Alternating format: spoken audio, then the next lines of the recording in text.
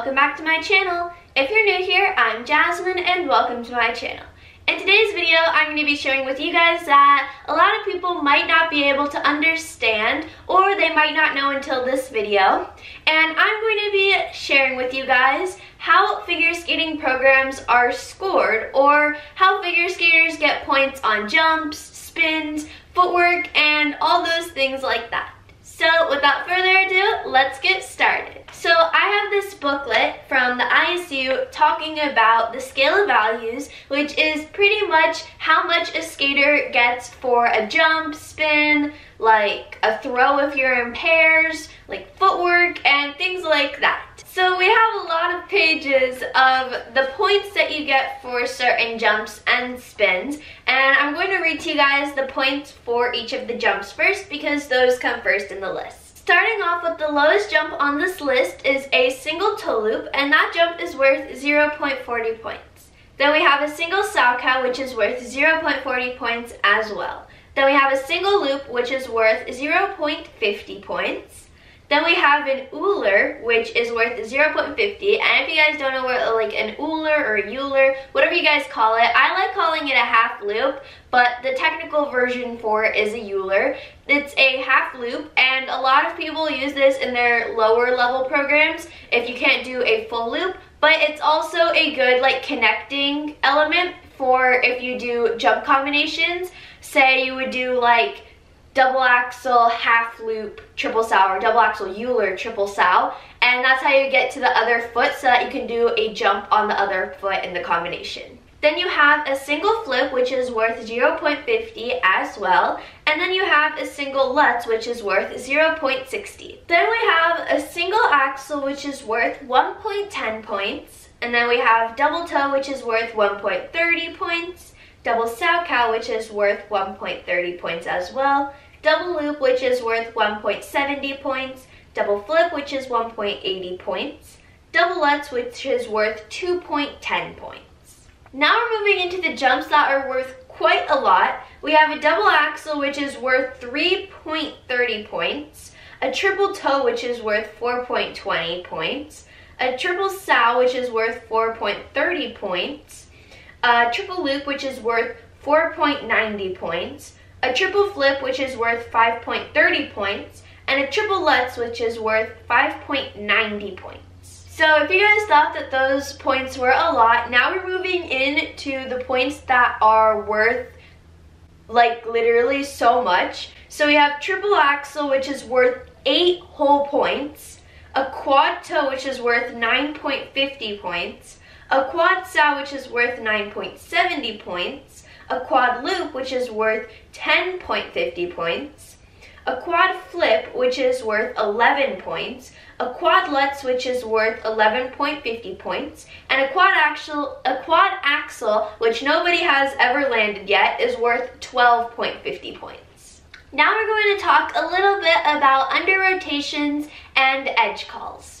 So there is a difference between under-rotated and downgraded. So say you start a jump off going forwards, like if you're doing an axel, you usually land backwards. So if you jump forwards and you land backwards, to get a downgrade, which is the worst thing to ever get in a competition, is where you land completely forward or you have like half of the rotation cut off from the landing. So if you would take off forward, you would land with your foot facing forward and do a three turn to the back on the ice.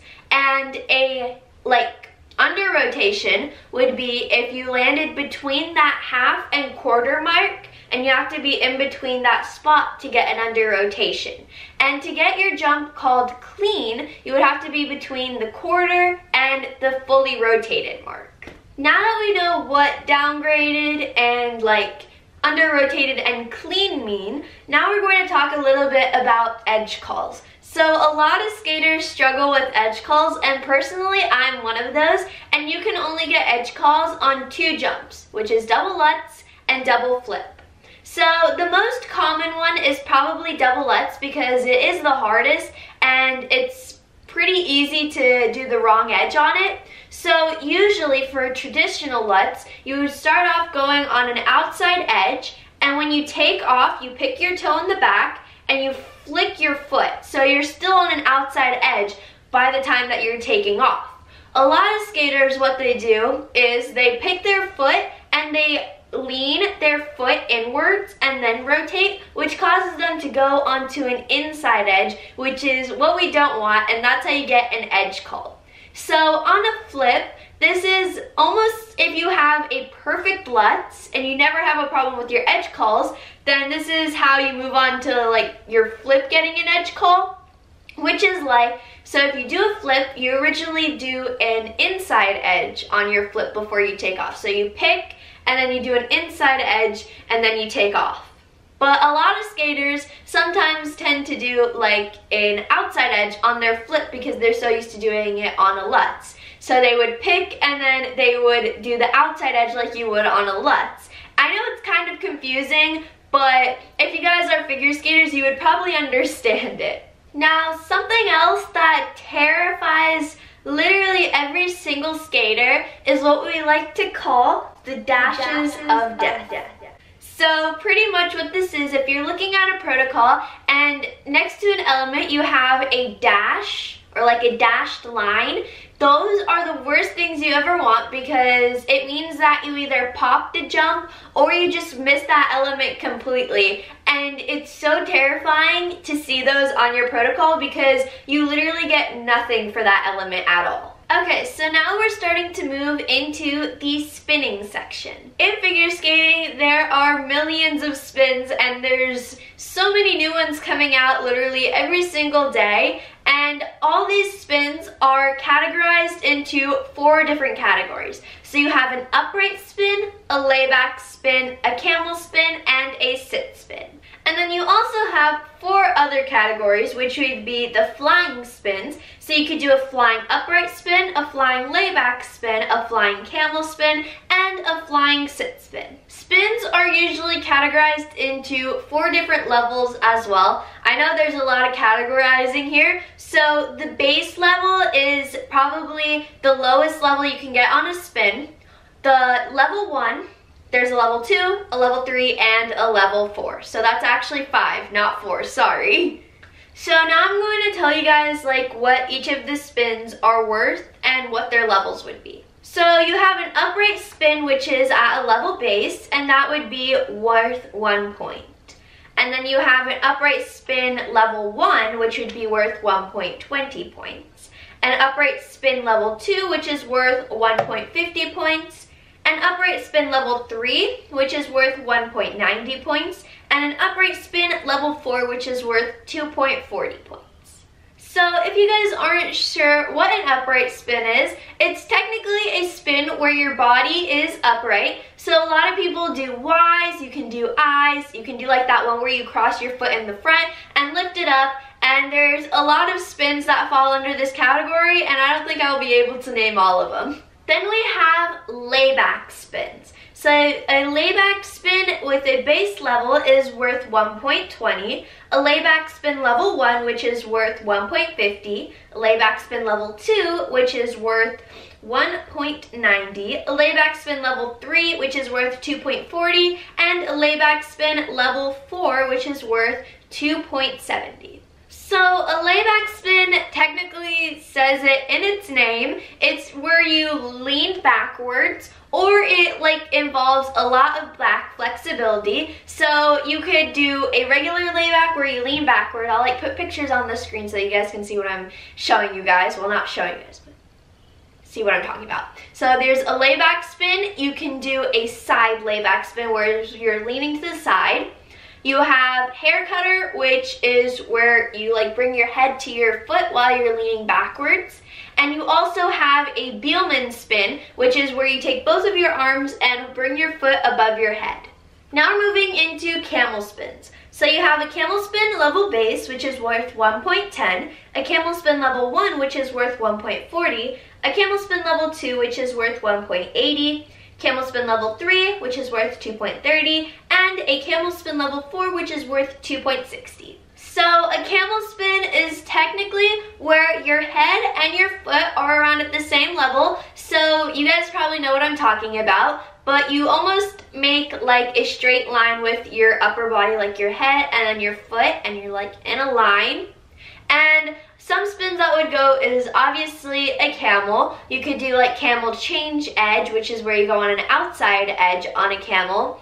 You can do a camel catch, which is where like you bring your foot up. You catch opposite arm, opposite leg, and then bring your foot up. And then you can do the same arm, same leg, and there's just a lot of other spins that fall into this category as well. Now we're moving into the sit spin category, and this one is personally my favorite category. So you have a sit spin level base, which is a 1.10, sit spin level 1, which is worth 1.30, sit spin level 2, which is worth 1.60, sit spin level 3, which is worth 2.10, and a sit spin level 4, which is worth 2.50. So a sit spin is technically in the name as well. So you're sitting down or you have a 90 degree angle from your leg and like the bottom of your thigh, I guess. So you make a 90 degree angle or a little bit lower, but you can't be above 90 degrees because they don't count that as a sit spin. And what you can do under this category is like a broken leg, which is my personal favorite. You can do a sit spin, obviously, because it's a sit spin category. You can do like tucks, you can do cannonballs. There's just a lot of spins that fall under this category as well. So I'm going to go through the flying spins pretty quickly and a flying spin is technically where you jump up in the air before you land and do your spin. So you can do flying camel, flying sit spin, death drop, butterfly. I've seen a lot of people do flying laybacks, which is pretty cool. And there's just a lot of those options. You can pretty much do a fly into any spin, I guess. So you have a flying upright spin base, which is worth 1.50. Flying upright spin level 1, which is worth 1.70. Flying upright spin level 2, which is worth 2 points flying upright spin level 3, which is worth 2.40, and flying upright spin level 4, which is worth 2.90. Then we have flying layback spin level base, which is 1.70, flying layback spin level 1, which is worth 2 points, flying layback spin level 2, which is worth 2.40 points, flying layback spin level 3, which is worth 2.90 points, and flying layback spin level 4, which is worth 3.20 points. then you have a flying camel spin base, which is worth 1.60, flying camel spin level 1, which is worth 1.90, flying camel spin level 2, which is worth 2.30, flying camel spin level 3, which is worth 2.80, and a flying camel spin level 4, which is worth 3.20. And then we're on the last category, which is flying sit spins. So you have flying sit spin base, which is worth 1.70, flying sit spin level 1, which is worth 2 points, flying sit spin level 2, which is worth 2.30 points, flying sit spin level 3, which is worth 2.60 points, and flying sit spin level 4, which is worth 3 points. Now we're moving into step sequences. So a lot of skaters call this footwork. I personally call it footwork as well, but the technical name of it is a step sequence. If you guys aren't sure what step sequence is, you guys have probably seen it if you've watched skaters do their programs. It's the piece of the program where the skaters are doing a bunch of turns and like, like, I don't know, photo movements and stuff. A lot of people do like pauses and breaks during their step sequences and it's just really personalizable and you have to have like certain amount of turns you have to go different directions to get different levels but you guys have definitely seen it it's the point where you don't do any spins or any jumps so again just like everything else as I already mentioned you have levels so you have a base a one a two a three and a four so for figure skaters to be able to get a level 4 step sequence, you first of all have to be in novice and up. So only skaters in novice, junior, and senior are able to like try to get a level 4. In the lower levels, you can only try to get for a level 2 max, I believe. So for step sequences, it's kind of confusing and I'm not one of the step sequence professionals, but I understand most of it. So to get a step sequence base, that's pretty much where you don't do as many as the of the turns that are needed. So if you only do like two of the seven turns that you need, you would probably get a base or a level one because those are the lowest. So for step sequence level one, it's a little bit more than a base because here you get more of the turns and by, what I mean by getting the turns is when you do clean turns, which is pretty hard most of the time, and it's kind of confusing. So what they do is they slow down the footwork if they're not 100% sure if your turn was clean. And you guys probably have no idea what I just said, but a clean turn is probably like a textbook version of the turn. It has to be an exact copy of a turn. Like some turns go inside to outside, but a lot of skaters tend to go like inside and then they switch to an outside right before they turn and that's automatically not counted as a clean turn which is kind of hard to get. so then you have a step sequence level 2 and this is the highest step sequence level you can go for in intermediate. I'm not exactly sure about the lower levels, but I'm 100% sure that you can only get a level 2 in intermediate. And in the lower levels, it's either 2 or lower. So step sequence level 3 is very hard to get. You have to have almost every single turn clean in your footwork. You have to have all the turns, you have to switch directions, you have to do turns on different foots, and all of those. So it's kind of hard and it's also a little confusing when you're trying to put like a footwork together. And then the final one is a level 4, which is probably the hardest one to get because for level 4 you have to have body movement, you have to have literally a perfect step sequence to get this. And body movement is probably really hard to get because you have to go up and down and like do a bunch of arm movements and stuff. And so that's why rarely anybody gets this one. So I'm going to be competing in novice this year if we have any competitions. But when my coach was putting together my footwork, I noticed that you have to have four turns. So you have to have a rocker, a counter, a bracket, or a Choctaw. You have to have all four of those in your footwork and you have to have them going both ways. And you also have to have twizzles and you have to have them going on either foot. You can't have the same twizzle on the same foot. So you have to do them on different foots to get a count.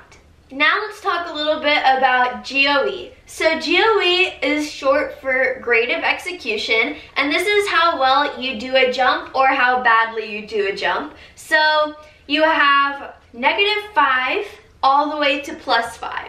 So you start with like the base of a jump or a spin or a step sequence and you can either go up or down from that depending on how well you did it. So GOE is technically a percentage of your jump either added or taken away from it. So you can get plus 1, plus 2, plus 3, or plus 4, and plus 5.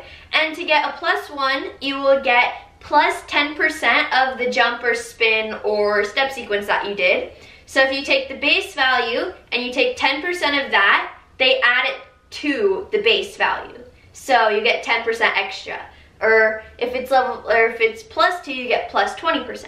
Plus 3 it's plus 30, plus 4 it's plus 40, and plus 5 is plus 50%. And then if you get downgrades or minus GOE, which is negative 1, you would get taken away negative 10% of whatever element you just did. You have negative 2 is negative 20, negative 3 is negative 30, negative 4 is negative 40%, and then negative 5 is negative 50% of the jump and it's terrifying to get a negative five because you lose half of your jump or spin or step sequence. Now we're gonna talk a little bit about how a skater can get or lose GOE. So in figure skating we have these things called bullets. So you have a you have six bullets for each category. So you have jump elements, spins, step sequences, and choreographic sequences. Here it states that for if you want plus one, you have to do one of the bullets. If you want plus two, you need two bullets. For plus 3, you need 3 bullets. For plus 4 is 4 bullets. And for plus 5, you need 5 or more bullets, which is quite a lot. But luckily, if you want a plus 4 or a plus 5, it states here that you can do the first three bullets highlighted in bold must be presented on either the jump, the spin, the step sequence, or the choreographic. So now I'm going to read them for you guys. So for jump elements, you need very good height and very good length of all jumps in a combo or sequence.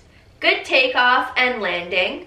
Effortless throughout, including rhythm and jump combination steps before the jump, unexpected or creative entry, very good body position from the takeoff to landing, element matches the music. Then for spins, we have good speed and or acceleration during spin. We have good controlled, clear positions, height and air landing position in flying spin, effortless throughout, maintaining a centered spin, creativity and or originality, element matches the music. Then for step sequences, you have deep edges, clean steps, and turns. Element matches the music. Effortless throughout with good energy, flow, and execution. Creativity and or originality. Excellent commitment and control of the whole body. Good acceleration and deceleration. Then for choreographic sequences, you have creativity and or originality. Element matches the music and reflects the concept slash character of the program. Effortless throughout with good energy, flow, and execution, good ice coverage or interesting pattern, good clarity and precision, excellent commitment and control of the whole body. Now the final thing we're going to talk about is how you lose points on like all your elements in your programs. This one's probably the worst one to talk about because of course nobody wants to lose points, but it does happen sometimes and these are the reasons why. So if you have a downgraded sign, which is like the two arrows or like the two signs, I guess. I don't know how to say it, but you have to get a negative three or a negative four depending on the judges. Then you have a fall, and for a fall, you automatically have to get a negative five. The judges have no say whatsoever if either like your hand or like your elbow or anything touches the ice, um, they count it as a fall and you have to get a negative five. Then you have landing on two feet in a jump. That's where you land two-footed, obviously. Most skaters land one-footed, but if you land two-footed, that's where your other foot touches the ice. Even if it's just for like a quarter of a second, you have to get negative three or a negative four. Then if you step out of a landing on a jump, then you have to get a negative 3 or a negative 4 again. And if you step out of a jump, that technically means you're doing the landing, but then you step on your free leg, which is the one that's usually in the air on a landing, and you step on that leg or like you trip and step on it. But if your free leg touches the ice, like to step on it, unless you're turning forward to continue your program, then they have to count that as a step out. If you do two three turns in between a jump combo, then you have to get negative two or negative three. And doing two three turns is probably the worst thing you could ever do, but it definitely is better than not doing the second jump at all. Um, even though you get minus points for it, it's definitely a lifesaver if you wouldn't be able to do the combo right after the jump and you don't want to fall or something. So if you have to, then you should use it. Then if you have a poor takeoff, you get negative two to a negative three. And what they mean by a poor takeoff is if like your arms aren't in like the right spot or like you're just falling all over the place right before you step into the jump, they have to give you a negative two or a negative three. Then you have the under rotated sign, and for this one you have to get a negative one or a negative two. And then if you do a half loop, that looks like you're stepping over to the other foot, where if you land a jump, and it looks like you're just doing like a three turn to the other foot instead of like the clear jump to the other foot, then they have to give you a negative one or negative two again. Then if your jump has poor speed, poor height, poor distance, or like poor air position, you have to get a negative one to a negative three. Then if you touch down with both of your hands out of a jump, you get negative two to negative three. And if you touch down with only one hand, you get negative one to a negative two. And then finally, if you have a weak landing, then you get a negative one or a negative three, which pretty much is like if you land and you come down and like go on an inside edge, which happens a lot of times, but you have to get minuses for it. This is the end of the video. I really hope that you guys enjoyed. I want you guys to comment down below if you guys found this video helpful and if you guys want me to do more videos like this one talking about like how figure skating is like scored or just generally about figure skating. But anyways, also don't forget to like, subscribe, and turn notifications. Love you guys. Bye.